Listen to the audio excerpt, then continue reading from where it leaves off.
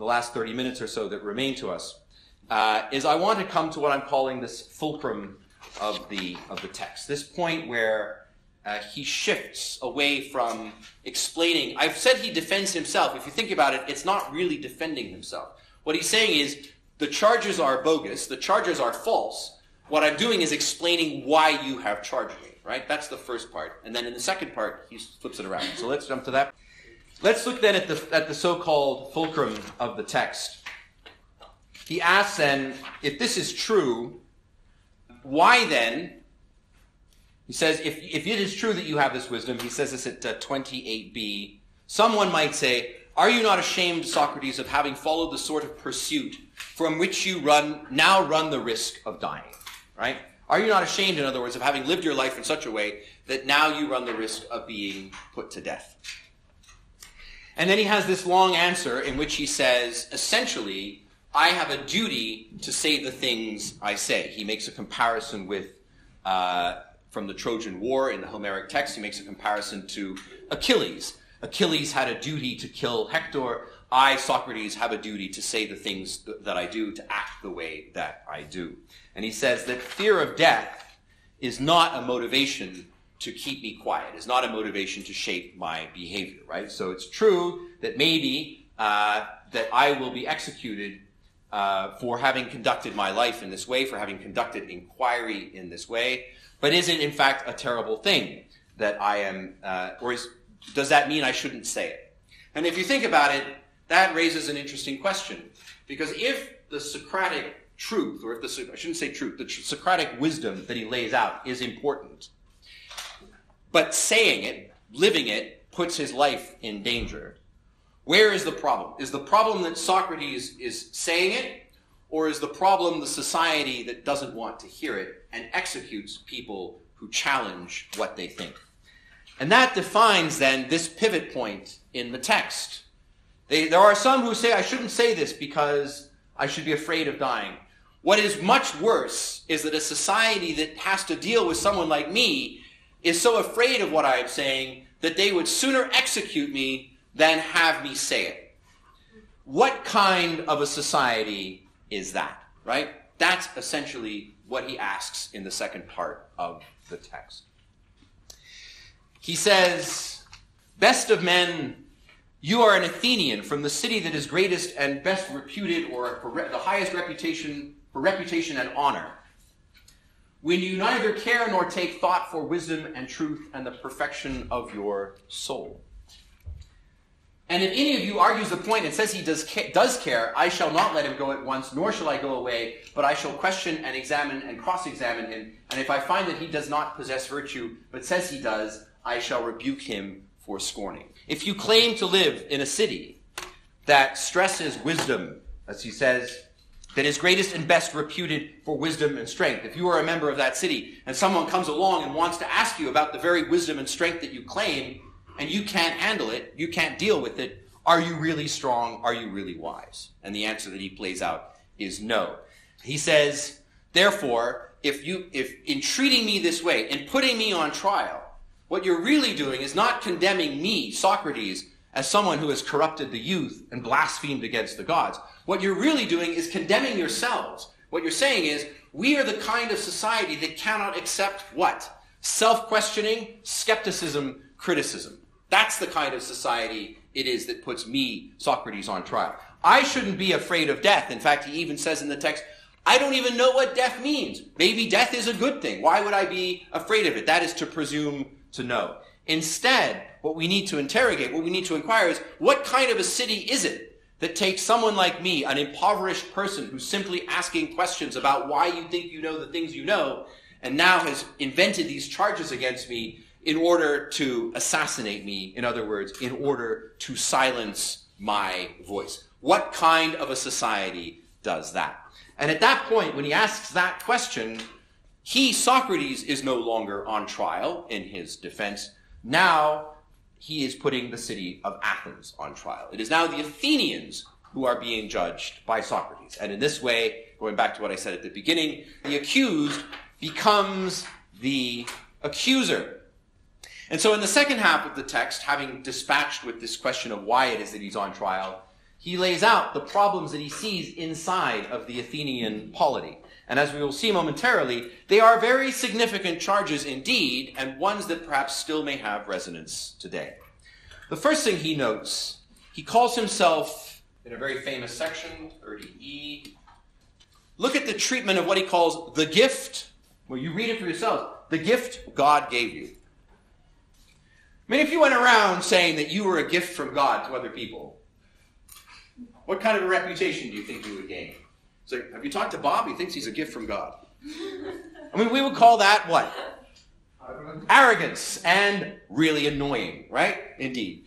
So he says, he says, I am a gift from God, right? Killing a man unjustly, and so men of Athens, I am now making my defense not for my own sake, but for yours. My defense is now not for me, my defense is for you, that you may not kill me and in fact become a better city, learn a better form of politics. This is what this trial is now about. Not to defend my life, but to defend you, to defend your city.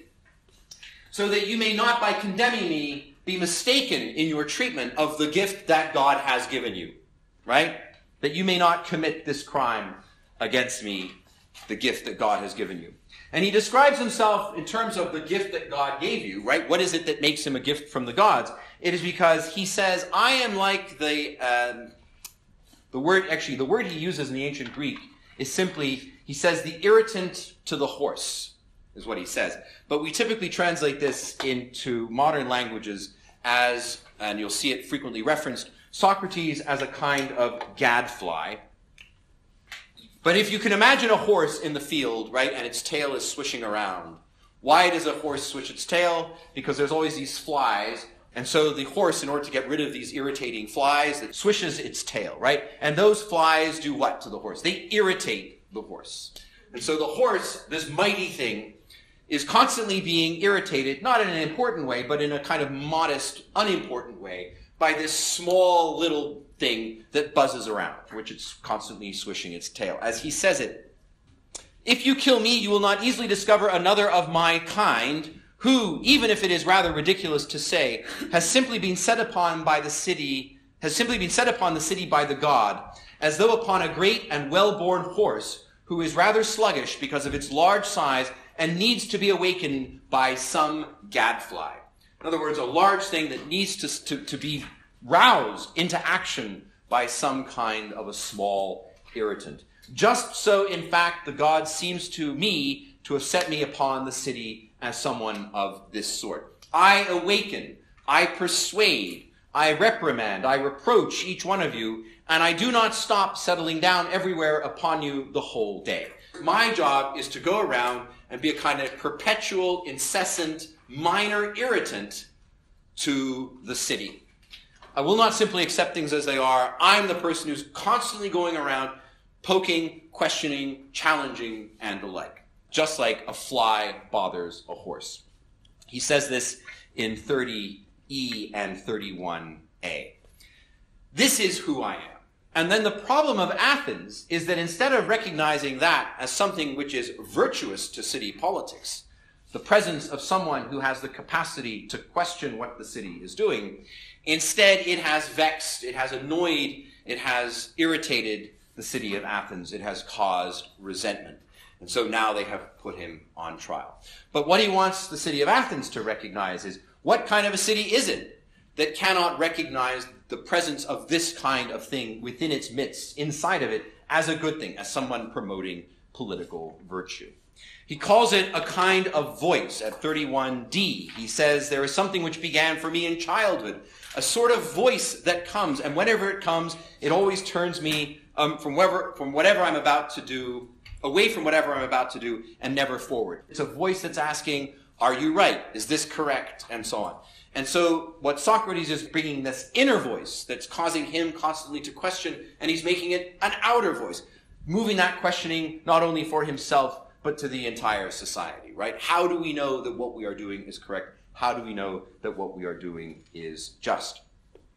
So that's the first point, that Socrates compares himself as a, some sort of gift from the gods set upon the city as a gadfly is set upon the horse to awaken, to arouse, to reproach, to persuade. In other words, to keep things mixing, to prevent people from settling into an established point of view, but always instead to be asking. The second thing he says about Athens, and this is perhaps the truly provocative argument, is he says that I am incapable of doing that which I perceive to be unjust. I cannot, I, Socrates, cannot do that which I see as unjust. You may remember this in 31e and 32a. And so therefore, he has led his life in, in, in as just a way as he possibly can, right? In a way that is consistent with his own understanding of justice. And the provocative thing about that is he makes the argument that in order for him to live a life that's in accordance with justice, what kind of life must he lead? He must lead a life outside of politics. That the life led, a political life, and a just life cannot be the same thing. He says, I, for my part, will offer great proofs of these things for you, not speeches, but instead actions.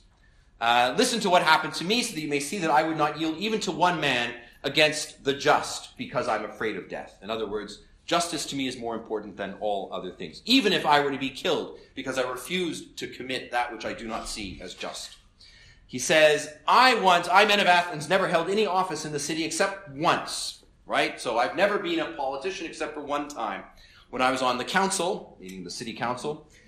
And it happened that when I was on the council, you wished to judge 10 generals as a group unlawfully as it seemed to all of you in the time afterwards. In other words, the judgment that you committed against them, you subsequently determined it was a false judgment. It was a mistaken judgment against them. He said, I alone voted against it. And I suppose that I should run the risk with the law and the just rather than side with you because of fear of, of being put to death when you were counseling unjust things. In other words, as a politician, I was compelled to act according to how I felt things were just. That's the only time he was in political life. So essentially what he's saying, the one time I was forced into politics, I was asked to do something that was not consistent with my idea of justice, and I refused to do it despite the fact that I ran the risk of death. He then goes on to say in 32d, in a very deeply discussed passage in which there's an enormous amount of scholarship, he talks about Leon the Salamis, right? He says, that when the oligarchy came to be, so this is after the Athenian capitulation during the period of tyranny in, in 403, that the oligarchy summoned five of us Athenians into the Tholos, which is the sort of round temple at the center of the city. And they ordered us to arrest Leon the Salaminian and bring him from Salamis to die. In other words, they were ordering men to go get this person so that they could execute him for some crime against, perceived crime against the city. As you may recall, Athens, or sorry, Socrates disagrees with this mandate. He does not agree with the idea that they should execute Leon uh, from Salamis, Leon the Salaminian. So what does he do? Does he get up in the square and make glorious speeches about why this is unjust, why this is a crime, why this will bring blood upon the hands of the city? What does he do? He goes home. He says, I departed and I went home. And he said, I suppose that I should have been put to death had the government not shortly been thereafter been replaced. In the face of injustice, Socrates does not take a public position. Instead, he retreats back into private life. And that raises the fundamental question about the notion of public life versus private life and the question of our duty to be just in one or the other. From the point of view of the Socratic citizen, we have then this idea that first, the practice of politics will inevitably lead to people taking decisions that are not consistent with justice. That's simply what politics creates. Politics creates situations where, for expediencies or other reasons, you have to do things that are not just. Therefore, politics, the practice of politics, participation in politics, is incompatible with the citizenship of someone who has committed their lives only to just, only to actions that are just. On the other hand, Socrates is also telling us that when, the, when that is tested, when you are asked to commit an unjust act, instead of rising up and taking a public position, using your skills, whatever it is that you have, to try and argue in favor of this vision of justice that you have, you should instead retreat back to private life. You should depart and go home. And we end up then with this kind of awkward paradox that's difficult to reconcile at the heart of this model of citizenship that Socrates puts forth.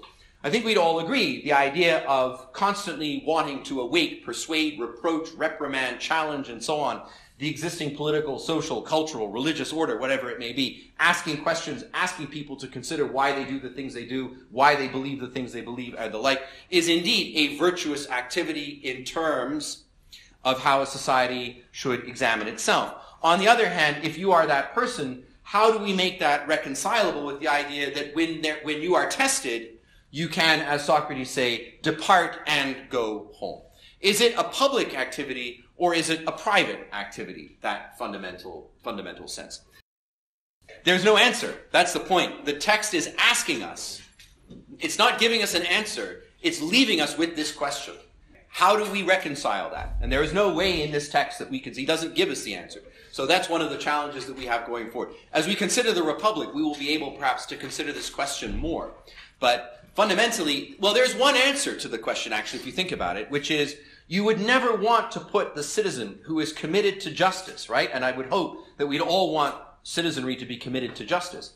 You would not want to live in a society where people have to make that choice. So maybe the paradox that Socrates wants to draw our attention to is not a paradox of the man, not a paradox of the individual, but a paradox of the system. That that's the that that it's irreconcilable because it points to a fundamental problem not with the individual but with this with the, with the system in which the individual is living. Perhaps that's one way out of out of that question. And of course, there's another instance of unjust injustice, right? Which is who's on trial? Socrates. Is it just in his view that he's being brought on trial?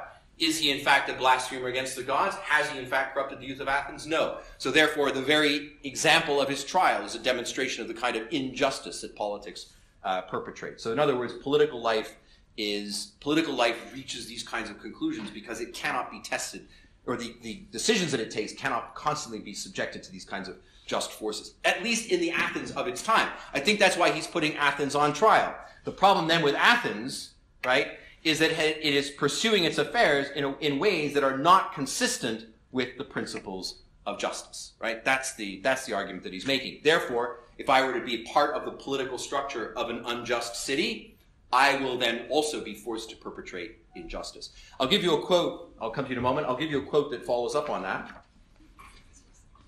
At 35b, he says, Those of you who are reputed to be distinguished, whether in wisdom or courage or any other virtue, will act, if you act in this way to judge me, it would be shameful. And he says, If a foreigner might take it that those Athenians who are distinguished in virtue, the ones whom they pick out from among themselves for their political offices and other honors, if, in other words, if someone came to Athens and saw the people that we have put up as our leaders, he would say that these people are not to be distinguished from women.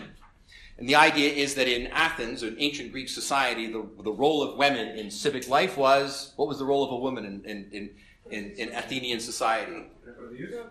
supposed to be you're not allowed to talk right? You have no public role. You are a, you are a private element. You are part of the family. You are not part of the state. So in other words calling someone who's supposedly distinguished it's like you're a woman is a deep insult in this sense right it's like you you are you would be showing yourself as somebody who doesn't have the capacity to act to understand to be wise and the like and so in other words he says based on what you are doing it is as if this is a city run by women a city run by people who have no reason, no rationality, no capacity for these things and so on. I apologize for this. Well, I don't apologize. It's not my sexism, but this is the sexism of ancient ancient Greek society. We'll see it again when we come to um, when we come to Aristotle. But the point is that is a very that is a very biting insult, right? And that suggests that what he's saying is those of you who have been distinguished by the city, yet you are incapable of the thing, the one thing the city should provide, namely this sense of justice to those uh, who live in it. Yeah. He said that by explaining the story of Leon the Salaminian, he actually proved that the society was unfair. And so is he trying to prove that the trial is unfair as well? Well, uh, that his own trial. No, I mean he says his, he says specifically of his own trial that it's a further instance of the un, of the injustice of the Athenian state, right? But the point being about the point about Leon the Salaminian is he said, "You condemn this man to die. You later recognized that that decision was a bad one. It was unjust. When you made it, I knew it was a bad decision. And then the question is, what did I do about it?